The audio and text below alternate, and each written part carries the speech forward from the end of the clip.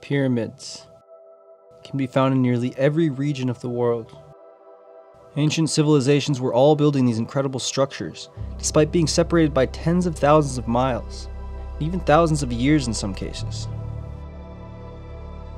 The alignments and mathematics used in the construction of nearly all of these structures was extremely precise and accurate, only matched by the work we do today with fine tuned machinery and lasers.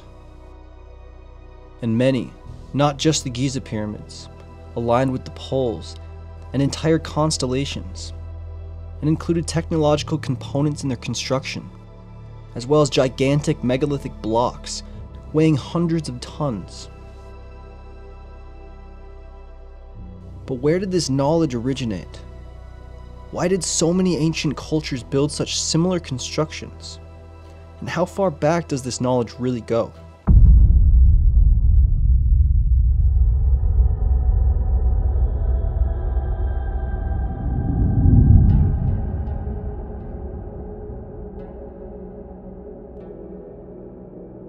Scholars will tell you that the Djoser Pyramid in the necropolis of Saqqara in Egypt is the oldest in the world. Built by the pharaoh Djoser and his architect Imhotep around the year 2650 BC. The structure is just over 4,000 years old, said to be built only 70 years before the Great Pyramid. Very little is known about the reign of Djoser, but his mummy was believed to have been laid to rest within his pyramid. However, when archaeologists entered the inner chambers, no mummy was found. Just an empty sarcophagus, alongside over 40,000 stone urns and pots. But why did Djoser and Imhotep decide to build such a unique structure? According to Egyptologists, the shape of the pyramid was seen as a representation of the primeval mound that emerged from the waters of chaos in the Egyptian creation mythology. Imhotep's design was a creative and innovative interpretation of these religious beliefs. They believed that in the beginning there was nothing but darkness and chaos, symbolized by the waters of the primordial ocean. Within this vast, dark expanse, there emerged a sacred mound, known as the Benben, or the Primeval Mound. It was said to be a small, pyramid shaped hill, the first solid land to appear from the waters of chaos.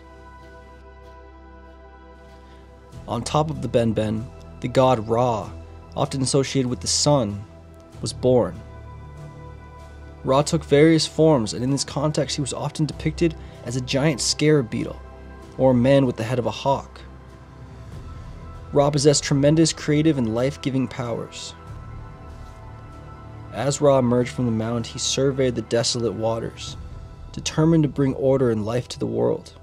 He began to create other gods and beings. He first created Shu, the god of air, and Tefnut, the goddess of moisture. Shu and Tefnut represented the fundamental elements necessary for life and creation.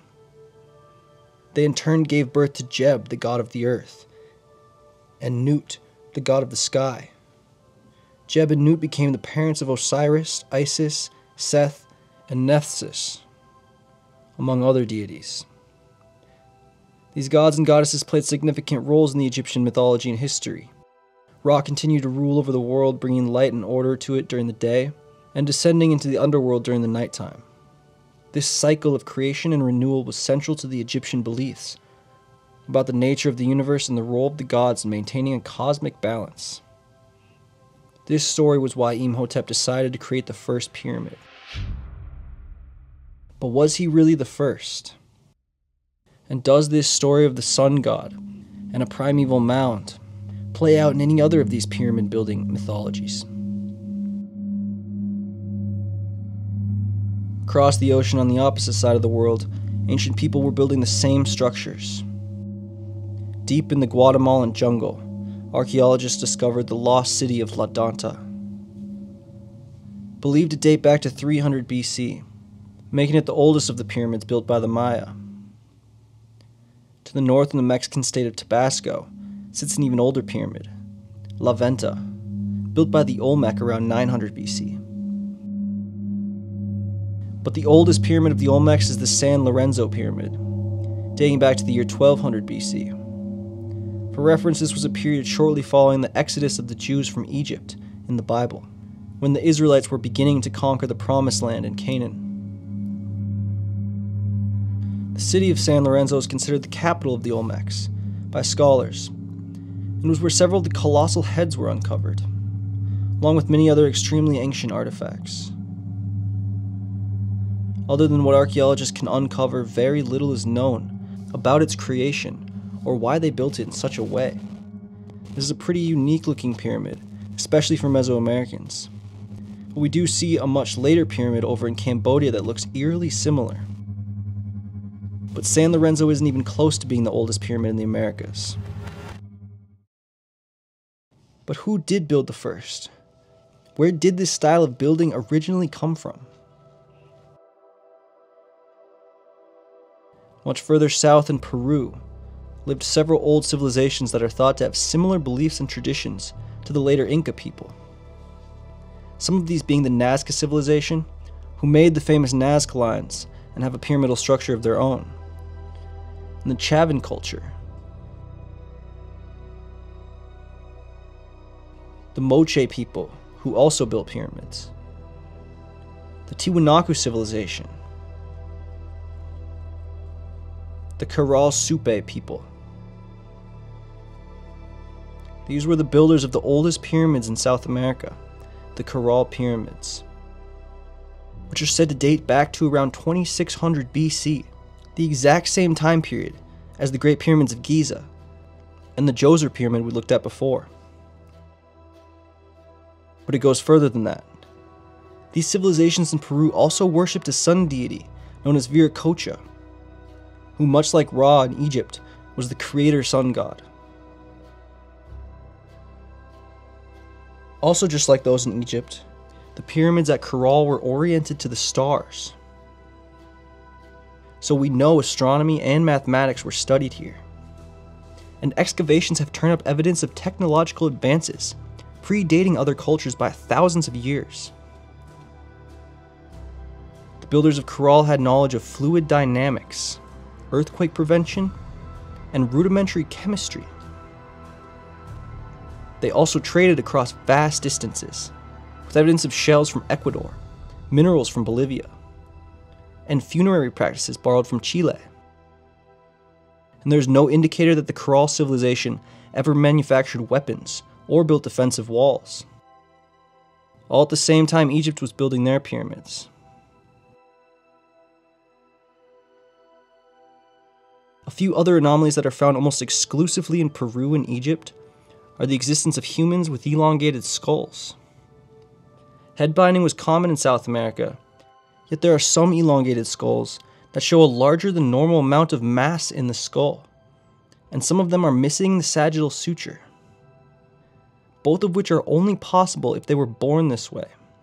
Head binding alone wouldn't cause this.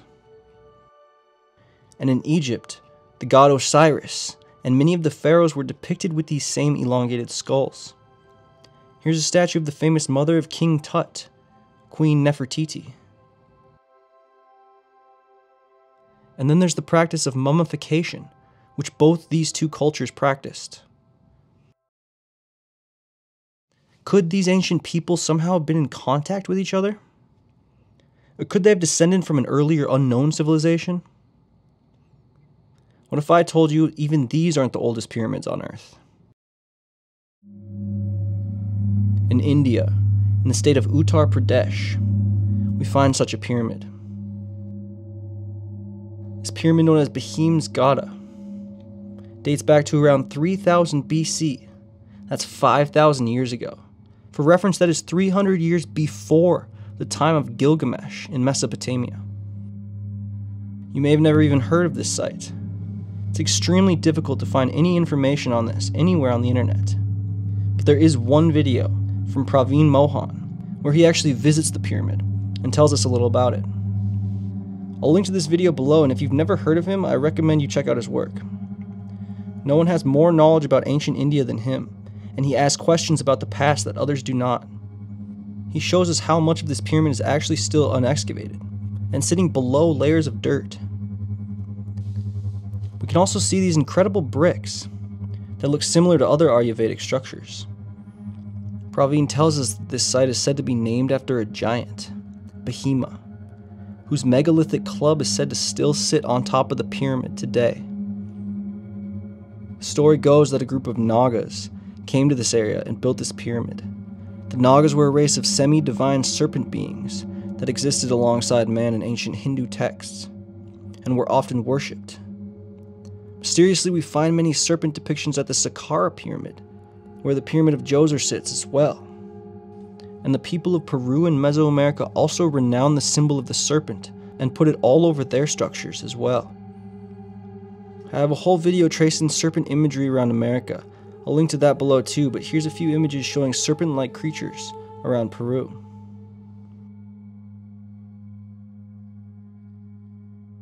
Another site that is not quite a perfect pyramid but a pyramidal structure dates back to 3000 BC as well is the Sialk Ziggurat.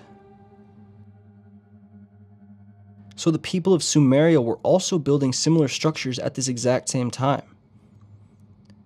But oftentimes, pyramids that go back to such a time have been left destroyed by Mother Nature. Many pyramids that we found have had to be completely dug up by archaeologists, and some still lie under layers of dirt.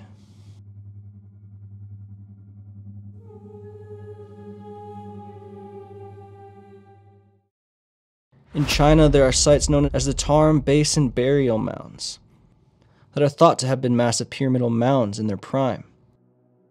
These sites mysteriously contain mummies, much like we find in Egypt and Peru. And in North America, there are thousands of these pyramidal mound sites that date back to even older than Bahim's Gada pyramid. Mound sites like Watson's Brake, Louisiana, Crystal River, Letchworth Love, and King's Crossing in Florida all have mound sites that date back to before 3000 BC, and even the famous site of Poverty Point is speculated to go back to this time period as well. So, even before the Vedic civilization in India built pyramids, when the first pharaohs of Egypt were still uniting the Nile region, and when most civilizations were bordering on the line of mythology and history, North America was a complex system of great cities with pyramids and civilizations that had more advancements than some of the later tribes. And don't be fooled, these mounds were impressive structures rivaling the pyramids in Mexico and Egypt in their prime. It's just that 5,000 years takes its toll. These sites were in fact often made of brick and were not always covered with earth. It wasn't until later on the weak bricks began to fail, and thousands of years of sediment was deposited on top of them. They also were built in alignment with celestial objects, like we see at other pyramidal sites.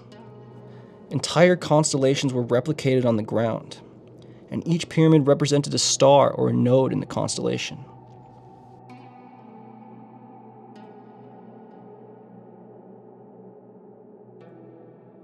Within these pyramid mounds in North America, giant skeletons have been found, and not just a few, but hundreds. Native Americans knew these sites were sacred, and they reveal to us that ancient man was not as primitive as once thought. We still don't know how many mounds there are in North America.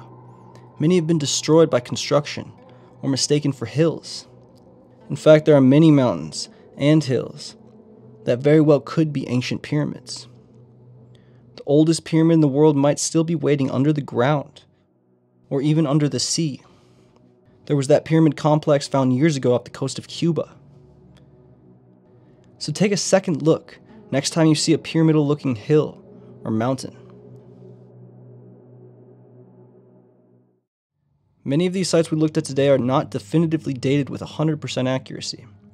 Archaeology is a game of best guesses in some cases when it comes to dating, and many speculate that some of these pyramids go back to even a much earlier period. Researchers like Graham Hancock have devised many theories about sites like the Great Pyramids, Teotihuacan, the Cholula Pyramid, and Poverty Point, saying they may go back to prehistory, before the Younger Dryas over 12,000 years ago and beyond. This is a topic for a whole nother video, but these researchers point to alignments to star systems that date back to such a period, such as the alignment of the Great Sphinx and the constellation of Leo in 10,500 BC. Many ancient peoples also tell stories of these pyramids being built by an ancient race of people that was separate from our own. In Mexico, the Aztec held the belief that the pyramids at Teotihuacan and the Great Pyramid of Cholula was built by this predecessor race of giants they called the Quinametzin. And they were destroyed and taken out by a massive flood that left the structures completely buried and left to look like mounds of dirt.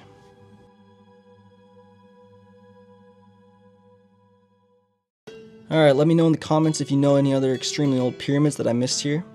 And let me know what you think about some of the similarities we find in these ancient pyramids, like the detail about the race of serpent people building them. I think there's more to look into about these Nagas and serpent symbolism across ancient cultures.